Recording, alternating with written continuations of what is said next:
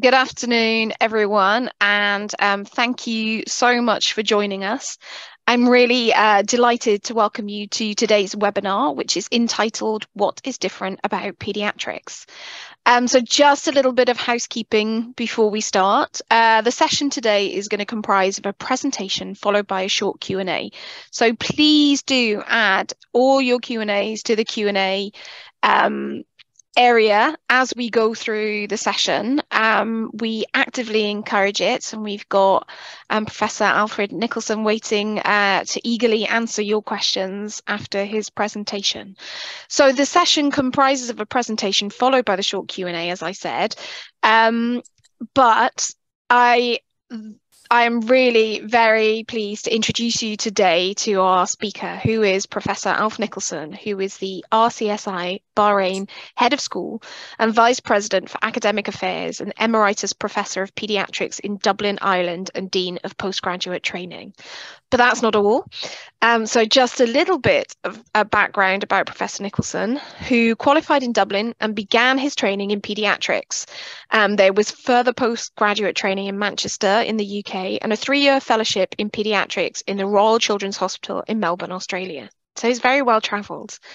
Having returned to Ireland, uh, Professor Nicholson held consultant professions uh, positions, apologies, in Mullingar and Drogheda prior to, and I'm sure I've pronounced those really badly wrongly, um, prior to taking up the position of RCSI Professor of Paediatrics and Head of Department in 2008. He's had many national and international leadership roles, including Executive Member of the European Academy of Paediatrics for 12 years, the National Clinical Lead for Paediatrics and Neonatology Programme for nine years, and co-dean for both basic and higher specialist training programs in pediatrics for 18 years.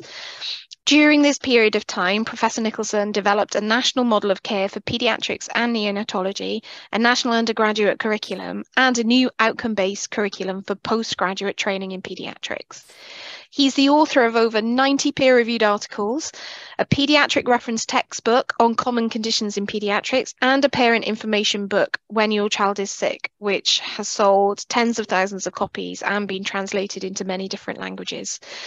We're also very, very excited to say that Professor Nicholson has just published a textbook of pediatrics entitled Building Blocks in Pediatrics, which you should be able to see on your screen right now on the left hand side, which published with Elsevier in September 2022. Um, his current role is as head of school and vice president for academic affairs in RCSI Bahrain, where he oversees the introduction of a new transformative undergraduate curriculum in the medical school. So, I think that you'll agree with me that today you're in very good hands. So, without further ado, I'd like to hand over to Professor Nicholson. Thank you, Professor Nicholson. Thank you very much, and uh, good afternoon or good evening, everybody. Uh, it's a great pleasure uh, to speak to you this evening uh, on behalf of both myself and my co-editor, Professor Kevin Dunn, who also works here in Bahrain.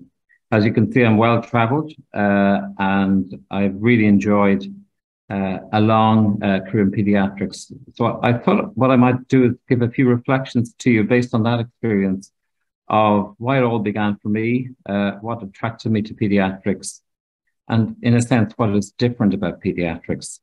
Uh, and of course, um, there are many differences that, that, pediatrics brings up. I think the chief amongst them is uh, is the fact that as a student or as a postgrad, you're taking a history from a third party, usually one of the parents, not from the mother. And the second thing is that children never stay the same. Uh, they're growing and developing all the time. And, and I think one of the great attractions to me to pediatrics is both that aspect, which is the growth and development, which is fascinating, and also the fact that by and large, uh, children tend to recover completely and quickly from acute illness. Next slide, please, Darren.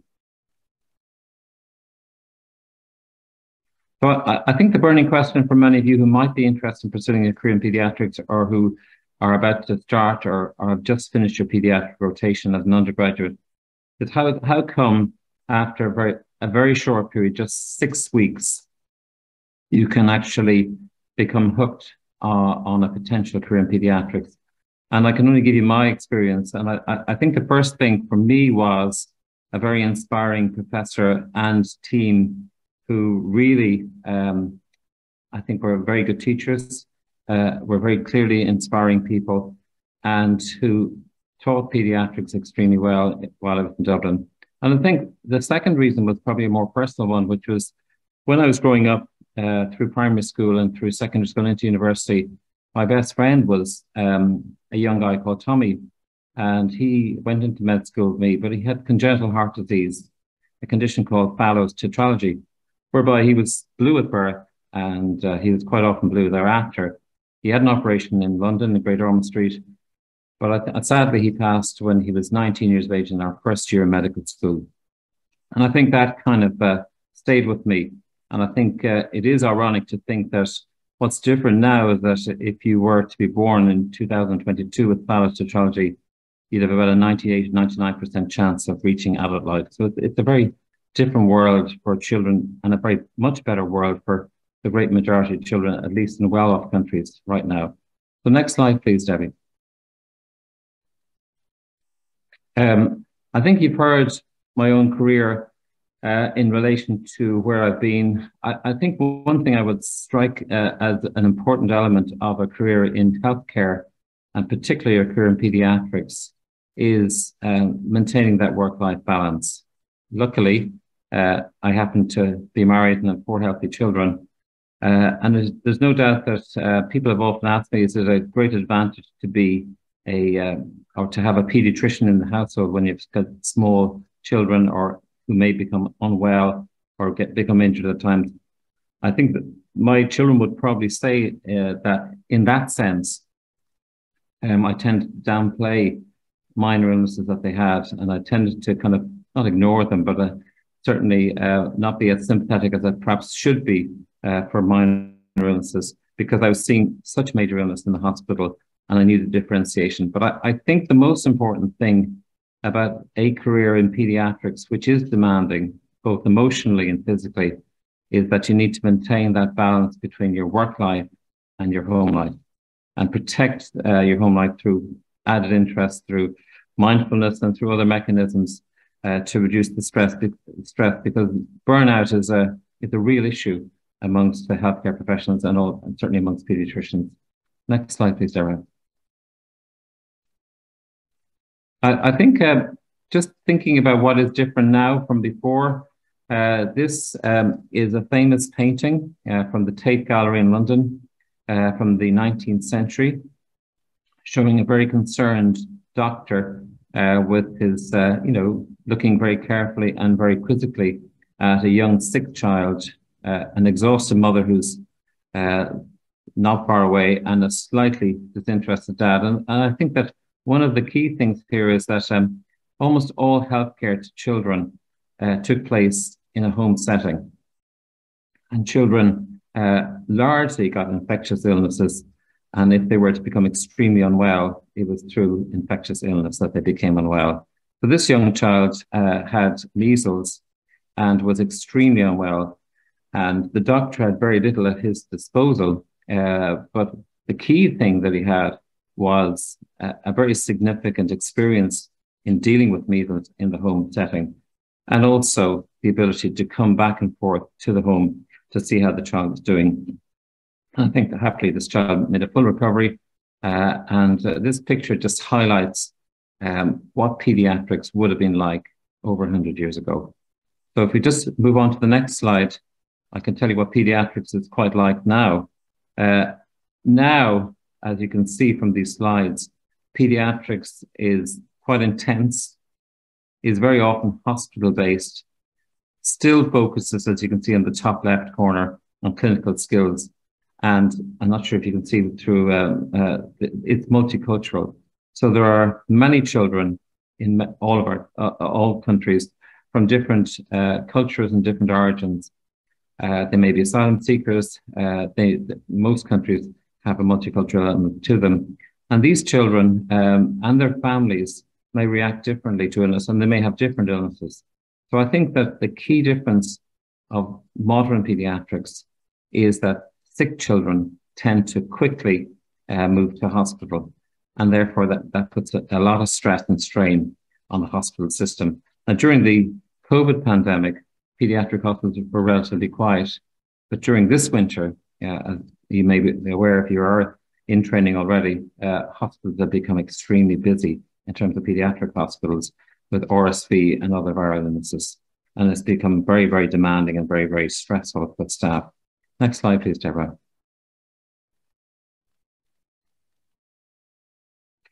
I think um, when I reflect on a uh, career in pediatrics, I, I reflect on the, this publication, which came out in 2016 in relation to what has been termed the seven great achievements in pediatric research over the past 40 years. Because we do know that today's research is really tomorrow's standard of care.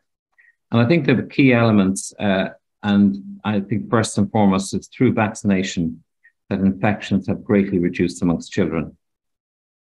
The other thing that's reduced, and I think it was through uh, the media and through Anne Diamond in particular, uh, the Back to Sleep campaign, which she spearheaded in the United Kingdom, uh, led to a significant reduction in cot death, which was the major killer in infancy uh, some years ago.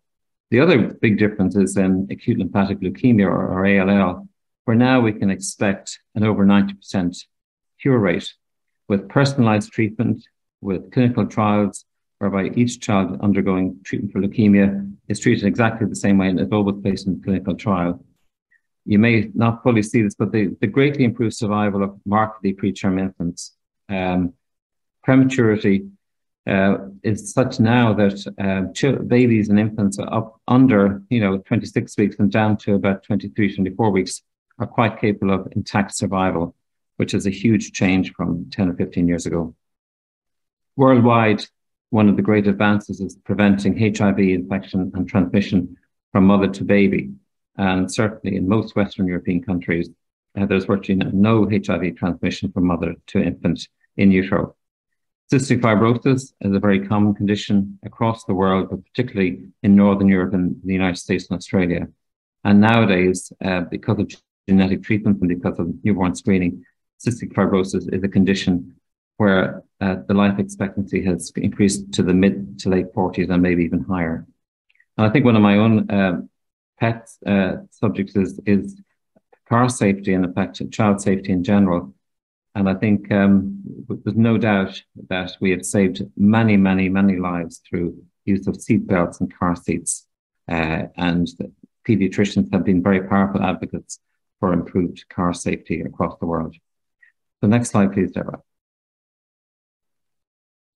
So um, just to sort of give you a synopsis of those key changes in pediatrics. Um, of course, we've seen improved standards of living. Uh, we've also seen many killer uh, illnesses or killer diseases, mainly infections that have disappeared.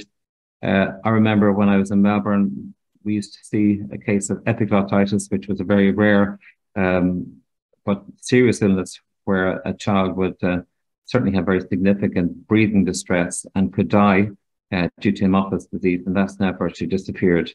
We've seen a major surge in allergic disease, uh, and there are lots of theories behind that, but certainly in most uh, well-off countries, at least 5 to 10% of uh, children have significant allergic disease. Many children who used not survive are living on with chronic and complex disability, and we found that that's more prevalent. And there's no doubt that managing these um, children is really, really important in terms of giving them a, a, very strong outpatient service, but also ensuring that if they become unwell, that there's a specialized service that they can avail of. Now, the other big issue is, of course, that emotional behavioral problems and indeed in adolescence, anxiety and depression now affect a significant proportion of the child and adolescent population. And then the other big change is, of course, uh, changes in parental expectation. Parents expect full recovery in their children and some of them, uh, I think unwisely, have lost confidence in primary care provision and are very keen to seek access to specialist care. And through the internet, uh, they have become what we call an informed client group. So that when they come with a symptom, they've already gone uh, to the internet and they may become extremely anxious by this trawling that they tend to do, uh, looking for possible answers to their child's symptoms. Next uh, slide, please, Deborah. Um, one of the other great things that I, struck me as I went through a career in healthcare is, uh, and this is a very difficult thing to do as a healthcare professional, is uh, always try and see it from a patient's perspective. And when we were designing models uh, for uh, various care pathways for children, uh, the group that really were most important to us uh, and direct us always in the right direction were the parent advocacy groups because they knew, uh, let's say their child was diabetic or had cystic fibrosis, they knew exactly what their lived experience was. And learning from that lived experience and designing a healthcare system that suits their needs and is in their best interest is the most important way of designing uh, any service for young children. Next slide, please, Deborah.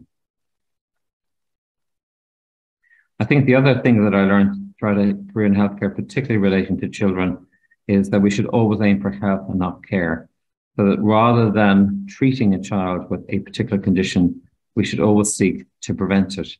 And there are some examples here uh, of very successful mechanisms of prevention. Breastfeeding, we know, is uh, very protective to young infants and, and young children and has many beneficial effects. Um, folic acid fortified flour uh, will prevent uh, the onset of neural tube defects in pregnancies. Vitamin D is a really important vitamin, uh, and we do recommend that infants receive vitamin D supplementation uh, to ensure that they don't become vitamin D deficient. We now do what we call heel prick testing uh, in all newborns. It used to be for about six to eight inborn errors of metabolism and also hypothyroidism, but has now been extended to cystic fibrosis and an ever increasing uh, range of conditions whereby early diagnosis will lead to a successful cure. Now, there are one such condition um, uh, that can, will be screened for, I think, in the future is uh, spinal muscle atrophy, which is a very rare condition causing babies to be very floppy. And indeed, the condition that I got uh, as a final year medical student in my examination in pediatrics. But these little babies, uh, if given uh, specific gene therapy soon after birth, can have quite a normal life, uh, so that the goalposts have changed dramatically uh, for treating many conditions that were hitherto difficult uh, to diagnose and often um, with a poor outcome. Hip ultrasound screening, we know now that in most countries that people who've got risk factors uh, have hip ultrasound screening, and this picks up developmental dysplasia of the hip or uh, a dislocated hip. Very important to pick this up. Can be difficult to pick it up clinically, and ultrasound screening is very, very helpful. And then, of course, uh, the antenatal heart ultrasound scan. So almost all babies now have yes, anomaly scanning at around 20 weeks gestation, looking for, amongst other things, congenital heart disease. And if a little baby happens to have a significant congenital heart disease problem, they see a cardiologist who advises them further, and they're born adjacent to or in a hospital where a tertiary pediatric cardiology service is available. So there are no major shocks after birth, and there's a baby is immediately stabilized and transferred to intensive care and has a, almost always a successful operation and a good outcome.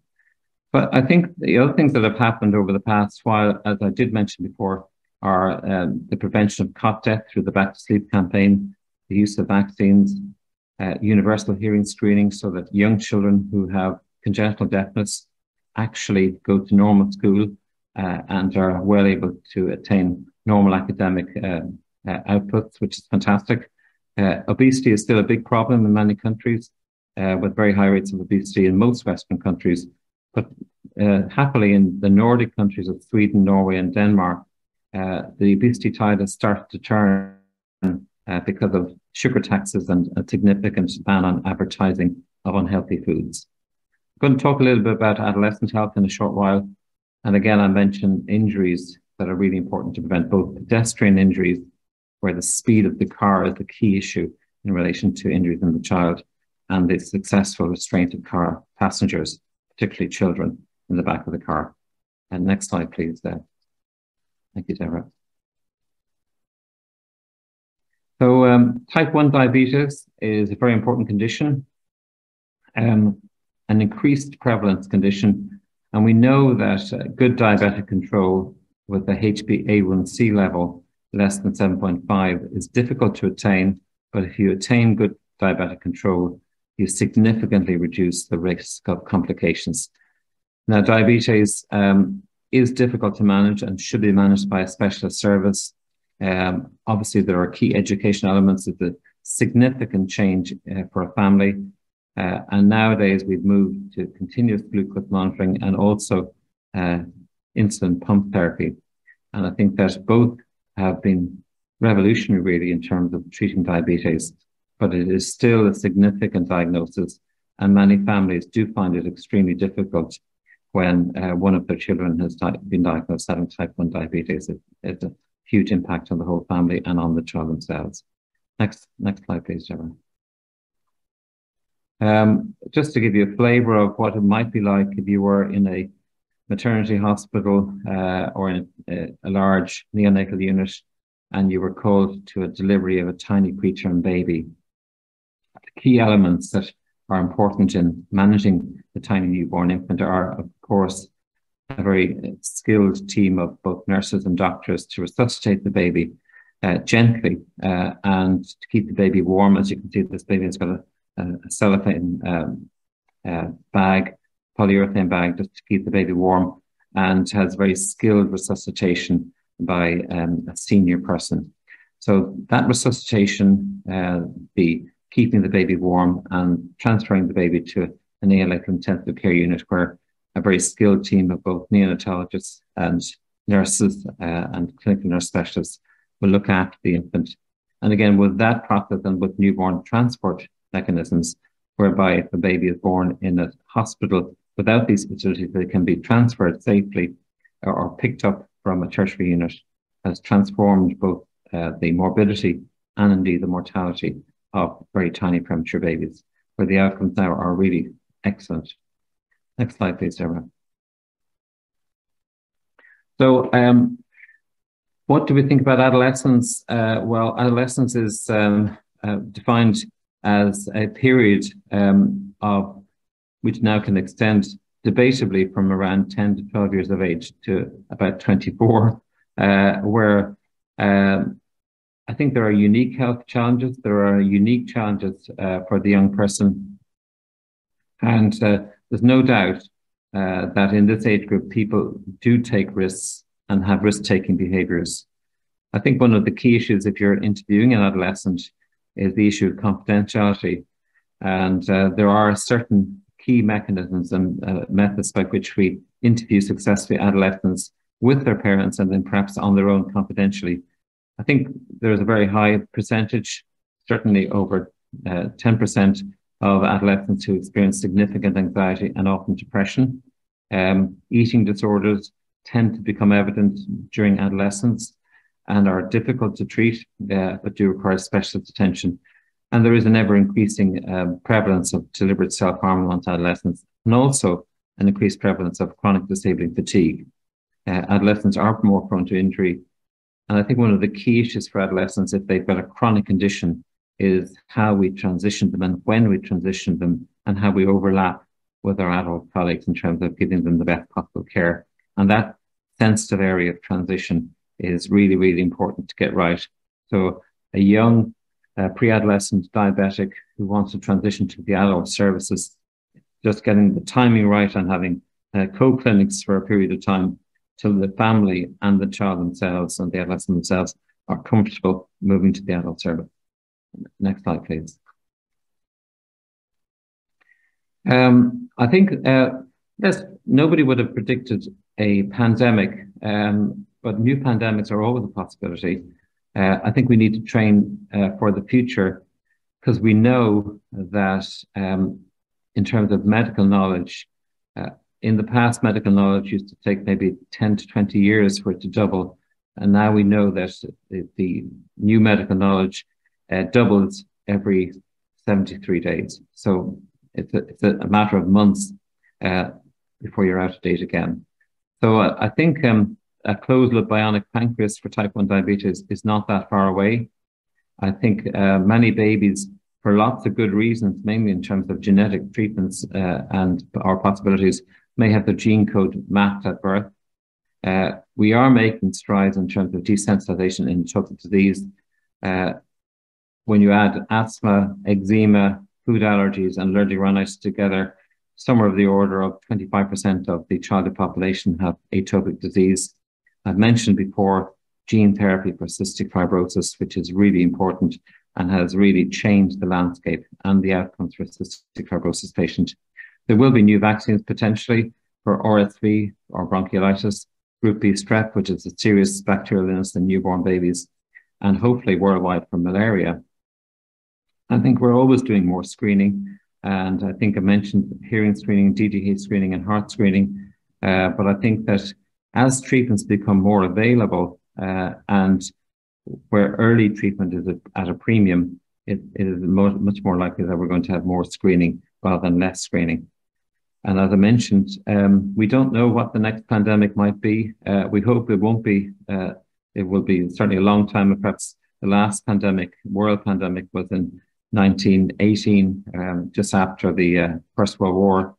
So that it was almost 100 years ago. That, but hopefully, uh, we won't have one very soon. But it's always a likely possibility uh, that we'll have a, a further pandemic uh, to tackle over the near, medium to near future. Next slide, please. I think uh, just think about if you were to enter pediatrics um, as a career, um, I think uh, think about the way parental expectations have changed, how the demographics in the Western world have changed, how technology has changed everything that we do, and how the economy has changed. Um, I think most people will, will want um, care closer to home, and I think that's the best way to deliver care will want integrated care. They would like to be less in a hospital and more at home, as I mentioned. And people who work in hospitals and indeed in the community are likely to require to be seven day workers.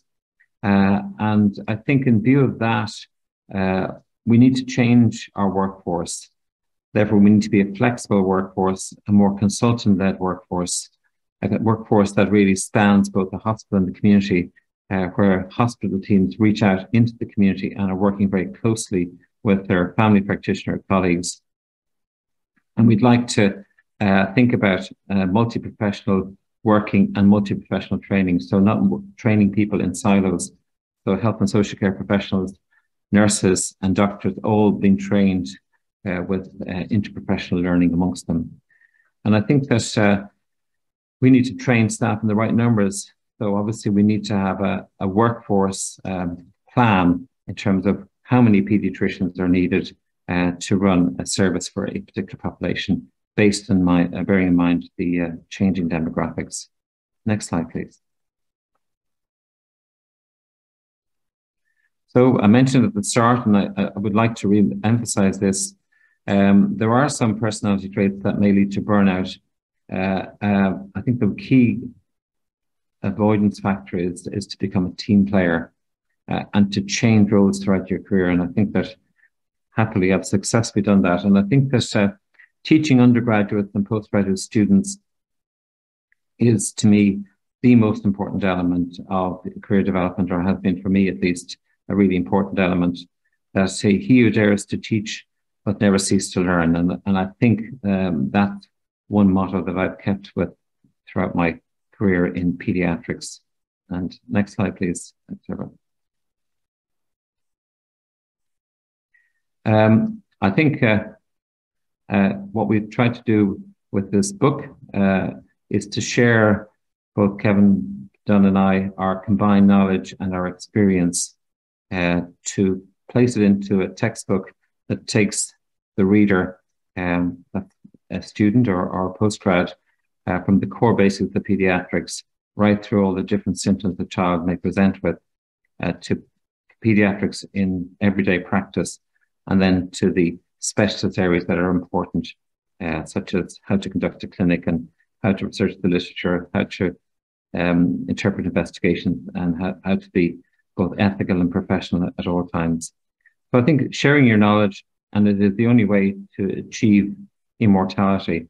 So I think if you're uh, planning a career in any health um, area, I think being available to students, to mentor students, and to mentor young graduates is a key element uh, that both benefits you and certainly benefits them.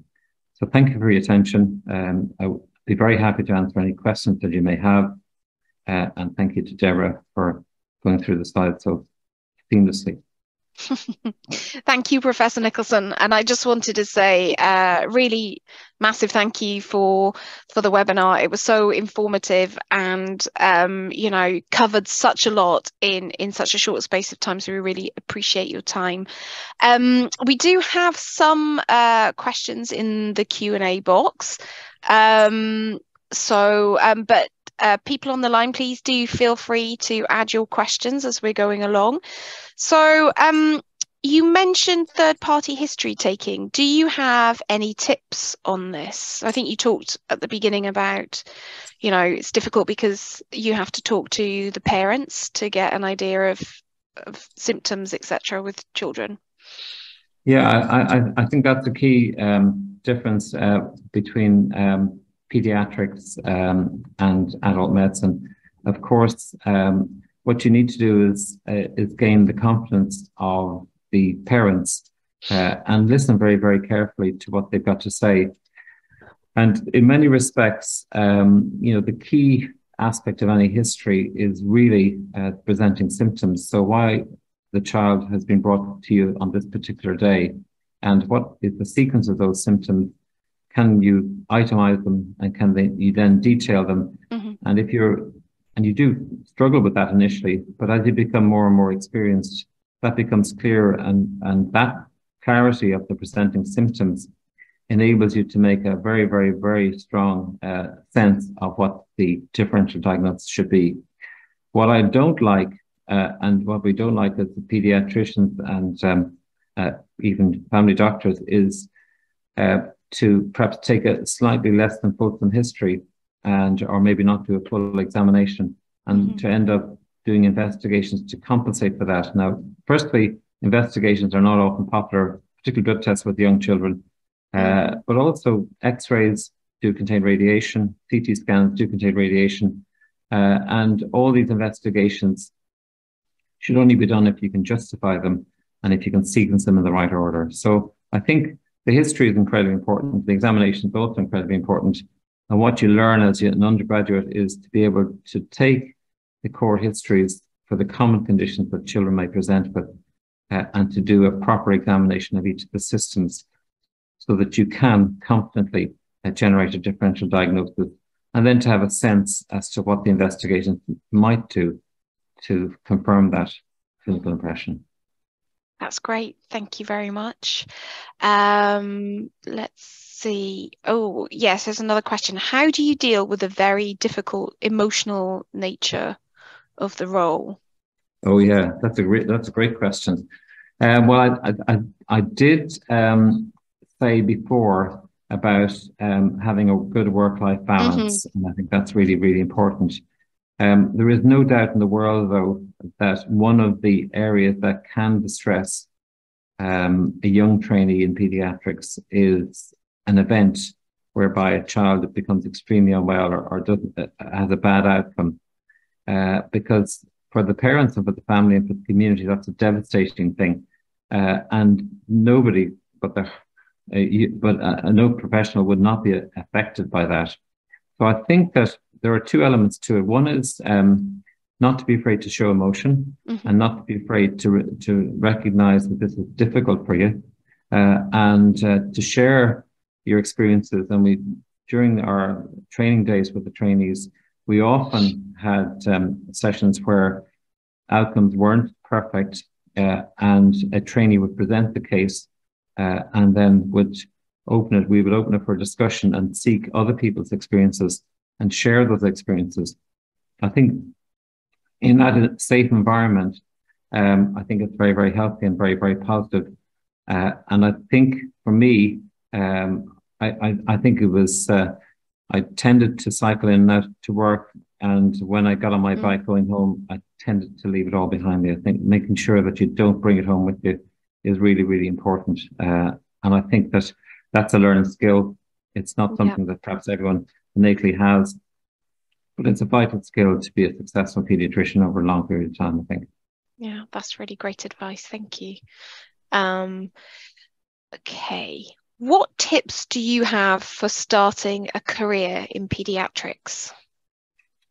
Yeah, I think, well, there are lots of tips I could offer, but I think uh, the most important um, thing I could say is that you have to have a passion for pediatrics. And I think that it's very mm-hmm. hard to know what lights that passion. It's very different for different people. Uh, but I think that generally, if you're lucky uh, and uh, if you meet um, during your undergraduate career, uh, perhaps an inspiring pediatrician, or maybe you were treated by a pediatrician mm-hmm. as a young child, um, you might feel inspired to to go into pediatrics. But when you um, feel that it's the area that you're interested in, I think it's really important to do well during your pediatric rotation, to perhaps um, meet up with the teaching team and say how interested you are in pediatrics, possibly in the final uh, summer before you graduate, mm-hmm. to do an elective in pediatrics, uh, and then to, to, what you call it, um, if you can, during your foundation year or intern year, as they would be in Ireland, uh, do some pediatrics during that time. Uh, and then apply for a, a, basic specialist training slot in pediatrics, mm-hmm. which is mm-hmm. usually two years. Uh, and then you go on to higher specialist training, which is often five years. Now, in Europe, uh, in Western Europe, most pediatric training programs are five years in total. But in general, it's somewhere between five and seven years as a training program. And I think during that time in, in the UK and Ireland, you do examinations. Mm-hmm. In Europe, uh, it's much more log logbook and experientially based. But I think that both systems work very, very well. Uh, and uh, I think it's, as a training program, I think they're, they're generally very, very uh, sought after. So it is competitive. And therefore, mm-hmm. you do need to uh, do some research projects and maybe do an MD thesis. Uh, but that's not for everyone. I think the most important thing is uh, that you um, increase sequentially your knowledge, uh, pass your examinations, uh, and uh, do an excellent job day to day. Uh, and you'll certainly progress very swiftly and successfully through a pediatric postgraduate career. That's great. Thank you. Um, I thought, well, this is a bit controversial. Would you recommend a career in pediatrics? I mean, I guess oh. you've slightly covered that when you talked about well, I think, yeah, passion. I, th- I think uh, I, I, suppose if there are um, 100 students in a, a, particular undergraduate class anywhere in the world, um, it's likely that about five of them will do go into pediatrics. Mm-hmm. So it's not, it's about one in 20. Um, I think um, the key things for you to know about pediatrics, I think I've covered. But the most important thing, of course, is that um, that you you like dealing with children. Mm-hmm. You do not mind um, um, allaying the anxieties of extremely anxious parents, and they are very anxious at times. Yeah. Uh, you enjoy um, the cut and thrust of um, you know the day-to-day life as a pediatrician. Uh, a lot of it is uh, diagnostically sometimes challenging um, as, I, as I mentioned before, uh, children won't tell you what's wrong, so you have to work it out through a detailed history and, and a proper examination and the very judicious use of investigations. But what I've found is that because I'm dealing with children um, uh, all the time uh, and their families, um, and of course it does range from newborns, tiny premature mm. babies, all the way to adolescents. Uh, so it's very varied. You can choose a specialty that suits you uh, you may be very interested in congenital heart disease and become yeah. uh, a pediatric cardiologist. You might love the idea of infectious diseases and their prevention and treatment and recognition and become an infectious disease specialist. So there are, you know, well over 30 subspecialties of pediatrics. I happen to stay mm-hmm. and be a general pediatrician because I like the challenge of um, diagnosing children and putting them in the right direction. So I, it never lost its appeal for me. Mm-hmm. Uh, I don't uh, do active clinical work right at the moment um, because I'm in, very much in a, a, head of school role, but I, I, I do miss it. Uh, and I think that uh, the um, the nice aspects of pediatrics um, greatly outweigh any of the difficult aspects. I mm-hmm. think some of the difficulties do relate to um, children with very complex care needs uh, uh, and very, very distressed parents, and also the occasional occurrence, which is uh, where a child has or a, a, family there are safeguarding issues where mm-hmm. a child may have had um, physical abuse or been injured by their parents. So that can be very challenging. Yeah. But again, with a highly professional approach, it can also be very rewarding. So I, I, I find the whole package of pediatrics, and I've always found it a very, very uh, interesting and extremely rewarding profession. Thank you. We do have a couple more questions. I think we probably have time, and I would just um, ask any of our participants if you have any questions, any more questions rather, please do drop them in the chat now. Um, what is the most rewarding thing about working in pediatrics? Is another question we have here. Well, I, th I think the most rewarding thing is um, and I suspect that uh, many pediatricians would probably say the same thing is if you're working as a, a newborn specialist or a neonatologist, um, to be at a delivery of a very, very premature baby uh, and to be involved in that management process, to go through um, with the family um, all the trials and tribulations of being a very premature baby and, and all the reactions that they have to that and to see maybe up to four months later that little baby go home uh, mm-hmm. uh, and uh, be healthy and be well, and perhaps maybe four to six years later uh, to see um, that uh, that young child uh, healthily going to school, and I, I think that's that's amazingly important so, mm-hmm. because there's there's very few areas in healthcare where you can have such a positive impact as in pediatrics. I, yeah. I think it's for that reason it's, it's such a great um, specialty.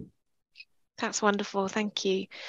Well, there is one more question left, and this is definitely not a plant. Um, can you recommend any good resources to help learn about pediatrics? And I don't. I will just draw your attention um, to the book on the left here. Um, yeah, well, I, I, think there are. I, I think um, any resources. Well, I, I, think the key resource really is somebody who is actually training in pediatrics at the mm-hmm. moment, or somebody who was one of your teachers, be they senior or less senior. Uh, just ask them what they had to do, um, why they did it, uh, and what attracted them to the uh, career in pediatrics. And the other thing, of course, is that by their enthusiasm for the specialty, and a lot of pediatricians, I think, are very enthusiastic for their specialty, um, by that sheer enthusiasm, it tends to rub off on the students who are mm-hmm. in their, you know, under their super or who are being supervised by them. So I, I think that um, I can't think of any uh, other specialty that I would rather have been in. Uh, and I think in terms of finding out about it, obviously the Royal College of Pediatrics and Child Health in the United Kingdom is a great mm-hmm. resource. Uh, the European Academy of Pediatrics across Europe is a great resource. The American Academy of Pediatrics in North America or the Australian um, College of Pediatrics in Australia. They're all, they're all excellent resources in terms of uh, what to expect in terms of a career in pediatrics. But what you get is unique to you uh, and is unique to the specialty uh, that you pursue uh, and where you mm-hmm. train. I was very lucky to train in the United Kingdom and in Australia and indeed in Ireland uh, and had fantastic mentors who are still friends to this day um, having, you know, we hope that uh, the textbook that we've just um, published uh, or is about to be published, Building Blocks, will reflect both that enthusiasm and that wisdom uh, and that what we call, and it is named, I think correctly, building you up from the very start, uh, mm-hmm. the first seven chapters, right through being a, a high-powered specialist in pediatrics, which is the last section. So I, I think that um, um, there are lots of resources, but I think the most valuable resource would be to talk to somebody who clearly, by their day to day demeanor, uh, is enthusiastic about pediatrics, is a top class pediatrician, and is somebody who you would love to emulate. So mm-hmm. I think that would be the best way to do it. I think that's great advice. Thank you very much. Um, I'm just going to check, but um, will the book be available online? Um, I will have to check that. I think it is most likely to be available online. I, I think it is. I think it's key. probably going to be in December. So it's uh, it, there's a few. Um, I, I, I, think I think the date is probably going to be on online. I think the ebook version is going to be available. I think in December, yeah. but that's only a few weeks away. Yeah, there should be an ebook version that is that you can purchase, but um, it is likely also that it would be on Clinical Key. So if any of your institutions have access to that platform, it's likely you'll be able to find it there. So um, if there are no more questions from the audience, it just really leaves me to say a huge thank you to you, Professor Nicholson, for your uh, hugely inspiring um, speech today, um, presentation rather. Um, I know, you know, I'm almost feel like I want to retrain as a pediatrician, but I don't think they'd have me now. Um, but uh, we really, really do appreciate it. And um, I'm sure that everyone on the line has found that really inspiring and helpful and, you know, lots of really great things that um, can be implemented. And so I also wanted to say a huge thank you to everyone on the line who joined us today and to let you know that the recording of this session will be sent to you via email in about a week's time so that um, you know you can listen and watch again at your leisure. But thank you everyone for joining us today. And thank you again, Professor Nicholson. We very much appreciate it. Thank you, Deborah, for thank all you. your help. Much thank appreciated. you, everyone.